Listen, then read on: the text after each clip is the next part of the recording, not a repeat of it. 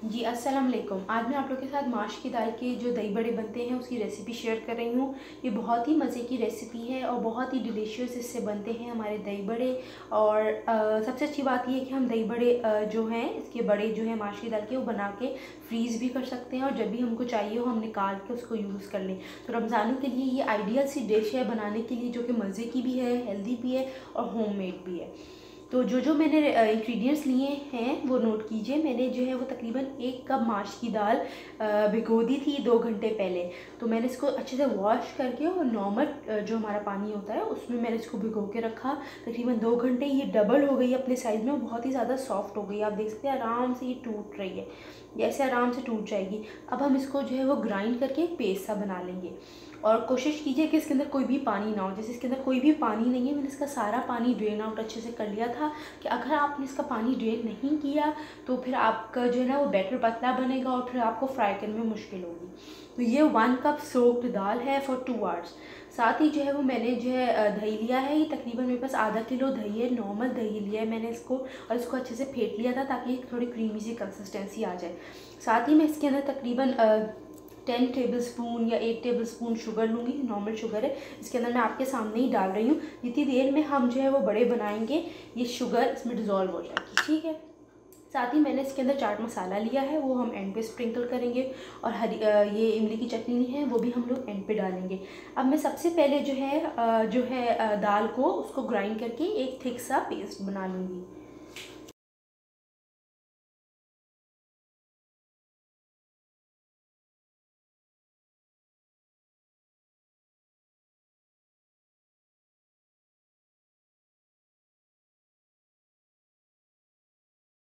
मैंने जो है वो माश की दाल को अच्छे से ग्राइंडर में ग्राइंड करके ताकि थिक सा पेस्ट बन जाए। आप लोग देख सकते हैं, काफ़ी थिक सा पेस्ट है। जब मैंने इसको ग्राइंड किया था तो मुझे जहाँ, जब मुझे लगा कि मशीन नहीं चल पा रही तो मैंने इसके तकरीबन एक दो टेबल स्पून थोड़ा सा पानी डाल दिया था ताकि वो अच्छे से मशीन चल सके। बस मैंने ज़्यादा पानी नहीं डाला और देख लीजिए इसकी कंसिस्टेंसी इतनी थिक होनी चाहिए कि मैं चमचा गिरा रही तो ये गिर रहा है। अगर आप ज़्यादा सपोज़ अगर कम पानी होगा तो मसला ये होता है कि आपके जो बड़े हैं वो सख्त बनेंगे और ज़्यादा पानी होगा तो सारी सी बात है हैंडलिंग में मुश्किल होगी। तो ये वाली कंसिस्टेंसी आप लोग देख लीजिए कि ये वाली कंसिस्टेंसी परफेक्ट है बड़े बनाने के लिए। अब मैं इसको सिंपल शेलो फ्राई करूँगी, जिस तरीके से हम लोग पैन केक्स को करते हैं। तो तकरीबन जो है वो मैंने मीडियम लो मीडियम फ्लेम पे जो है ना वो अपना पैन रख दिया है। कोई सा भी फ्राइंग पैन ले लीजिए अप टू यू मैंने थोड़ा सा ऑयल डाला है। अब जैसे ये हल्का सा ऑयल हीट अप हो रहा है तो अब मैं इसके अंदर जो है बड़े का जो हमने बैटर बनाया है, वो डालना शुरू करूँगी। बिल्कुल लाइट लाइट सा और इसी से ही फैला दूँगी ताकि थोड़ा राउंड राउंड शक्ल में आ जाए। ये बिल्कुल पैन केक्स की तरह बनेंगे, जिस तरीके से हम लोग पैन केक्स बनाते हैं। मैं बेसिकली इसका साइज़ थोड़ा छोटा रखती हूँ ताकि थोड़ा कन्वीनियंट रहता है, सबको खाने में भी और थोड़े से हैंडलिंग में भी आसानी हो जाती है। तो जैसे ही इस पर बबल साइड पर आने लग जाएँगे, थोड़ा सा डन हो जाएगा। मैं इसको फ्लिप करूँगी और दूसरी साइड से पकाऊँगी।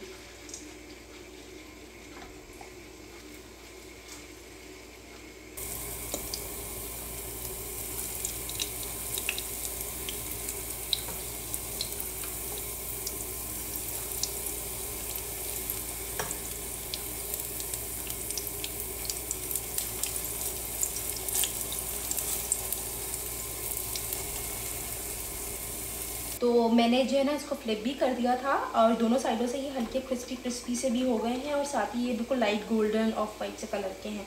अच्छा अब मैं इनको निकाल लूँगी और निकाल के मैंने जो है ना अपने साथ ही एक बर्तन में सिंपल पानी रखा हुआ है, उसके अंदर इसको डालती जाऊँगी।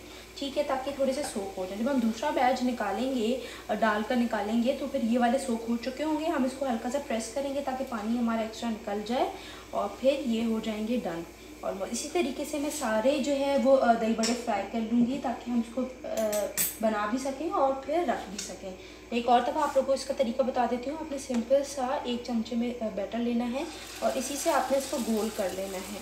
ठीक है? ये फैल जाएँगे, गोल गोल गोल गोल प्यारे से बन जाएँगे।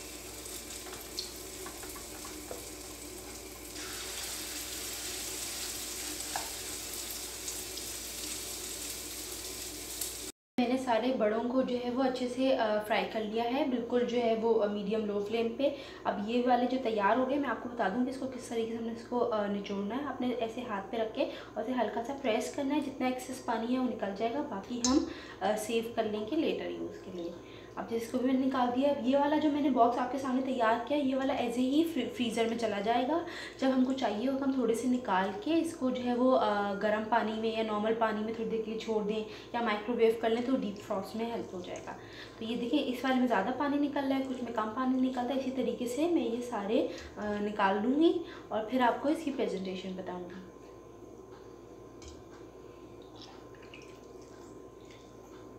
मैंने जो है वो एक नॉर्मल सी प्ले प्लेटर में इसको जो है वो सर्व कर दिया है। मेक श्योर कीजिएगा कि प्लेटर आपको ज़्यादा डीप ना हो, कर भी सकते हैं, लेकिन मेरी बस एक से दो सर्विंग के लिए ज़्यादा नहीं ताकि ये नज़र आए। अब जो है वो जो हमने शुगर शुरू में डाली थी वीडियो के शुरू में, वो अब घुल चुकी है। अब मैं अच्छे से देखे चला रही हूँ, कोई भी मुझे फील नहीं हो रहा कि इसमें शुगर के कोई पार्टिकल्स रह गए। अब सिंपल मैं जो इसके ऊपर पोर करूँगी जो दही है हमारा, वो, और साथ ही इसके ऊपर डालूँगी हरी इमली की चटनी और चाट मसाला। अगर आप चाहें तो दही बड़ा मसाला भी डाल सकते हैं, उसकी भी रेसिपी का लिंक मैं डाल दूँगी नीचे और चाट मसाले का भी लिंक है अवेलेबल नीचे डिस्क्रिप्शन में मिल जाएगा और चटनी का भी मिल जाएगा। दोनों की चीज़ें जो है वो आप मेरे चैनल से भी जाकर ले सकते हैं। सिंपल से इसके इंग्रेडिएंट्स है कोई ऐसे मुश्किल नहीं है कि आप घर पे ना बना सकें। दोनों चीज़ों के बहुत सिंपल से इंग्रेडिएंट्स हैं। तो ये आज हम, आज की हमारी रेसिपी थी। आई होप आपको पसंद आई हो और ज़रूर मेरे चैनल को सब्सक्राइब करें लाइक करें और शेयर करें और मज़ीद रेसिपीज़ के लिए स्टे ट्यून रहें। I hope you like this video thank you